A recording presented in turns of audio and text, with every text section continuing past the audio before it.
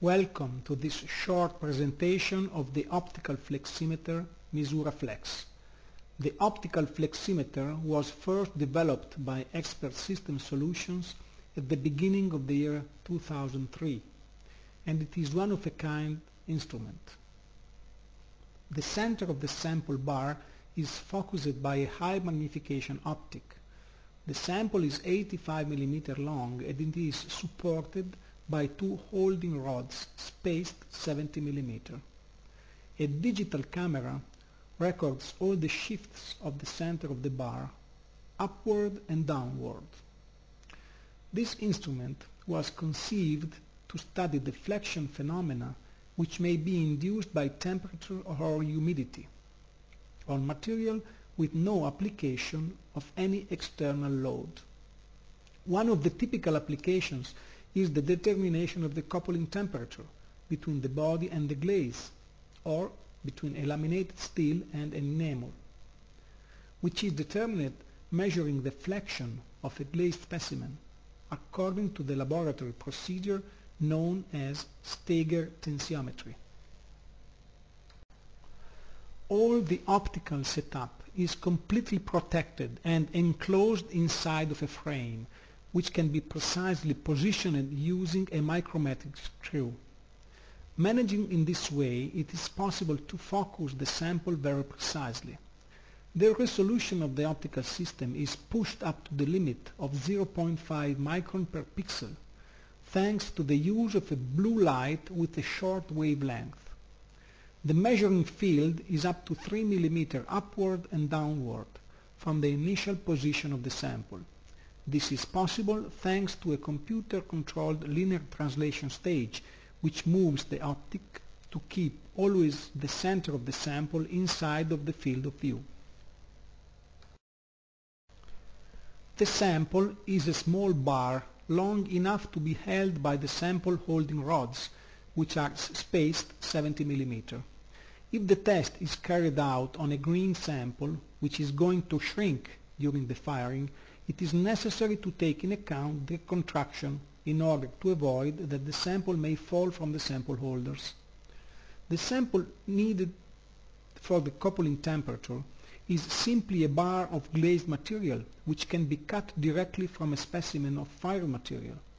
It is not necessary to prepare a specific specimen made on purpose for the test, like in the old Steger tensiometer. When the instrument is used to measure deflection due to the absorption of water, the kiln can be left open and the water is applied directly on the sample.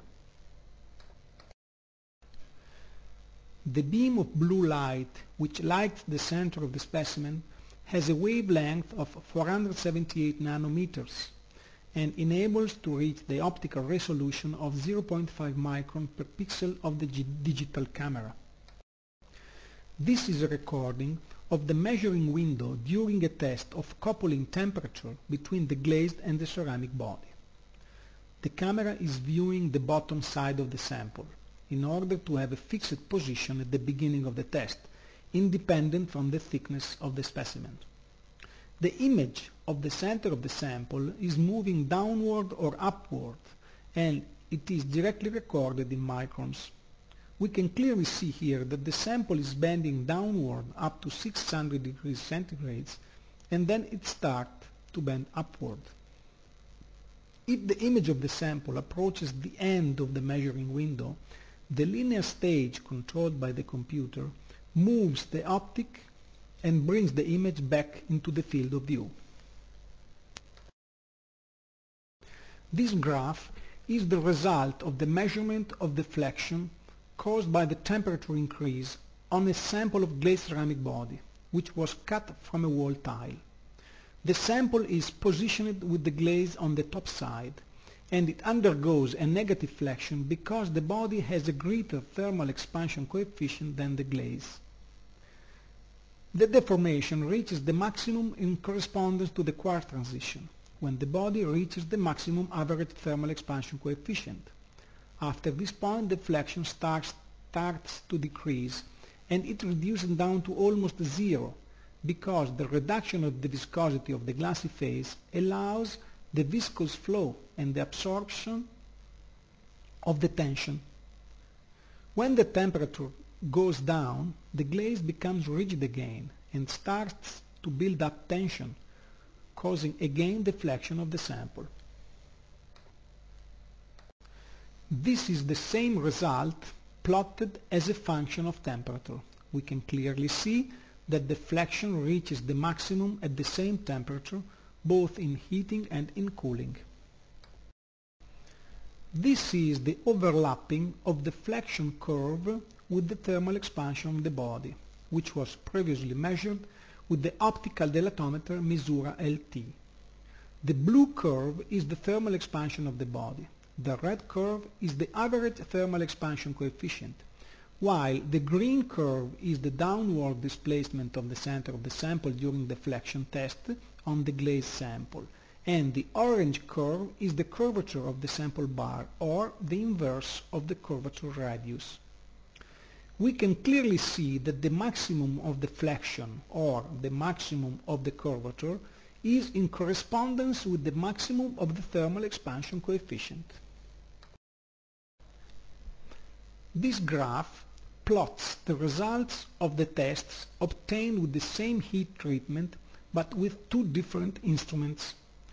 the red curve is the heat treatment which was made of three segments. One ramp with constant heating rate up to 1200 degrees, followed by a period of time at constant temperature and then the cooling. The blue curve is the sintering of the body measured with the vertical optical dilatometer Misura HT, while the green curve is the deflection curve, measured with the fleximeter Misura Flex, on a sample of pressed raw body glazed with a layer of engobe.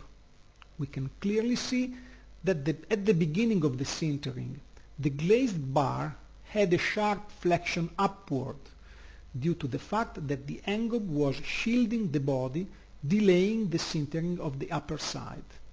As a result, the bar bent upward. During the permanence at the top firing temperature, the bar recovered only part of the bending. This is also a graph which plots the results obtained with two different instruments. As in the previous case, the red curve is the heat treatment, which was the same for the two tests. In this case, the heat treatment was a continuous ramp up to 1170 degrees, followed by a stairway ramp with holding temperature at 1170, 1190, 1200, 1210 and 1220. The green curve is the sintering curve measured with the vertical optical dilatometer Misura HT, while the blue curve is deflection measured with the optical fleximeter Misura Flex. This is for sure an unexpected behavior because it shows that the material is deforming much more under its own weight at 1170 degrees compared with the deformation which happens at 1220 degrees. The reason for this weird behavior is due to the fact that this body contains too much fluxes, which start to develop a low melting glassy phase at relatively low temperatures. These glassy phases promote the sintering but reduce the pyroplasticity too much. At higher temperatures, the glassy phases becomes more viscous thanks to the reaction with silica and alumina from the clay matrix and the body becomes more and more stiff. The optical fleximeter can be used also for the measurement of the deformation which are not induced by temperature. The results shown on this graph were recorded during a test of deformation of a green ceramic body due to the absor absorption of water at room temperature. This test was carried out on a small bar of raw body pressed at different specific pressures. The bars were wetted with the same quantity of water on the upper surface. The material undergoes an initial deformation followed by a complete recovery within 10 minutes. This graph is the result of a second series of tests carried out on the same material but with a different wetting procedure. The same amount of water was applied but in four steps, delayed three minutes from each other. The result is impressive. Wetting the body in, in subsequent steps, the amount of deformation is much greater than wetting all at once. Beside the amount of deformation, here there is almost no recovery.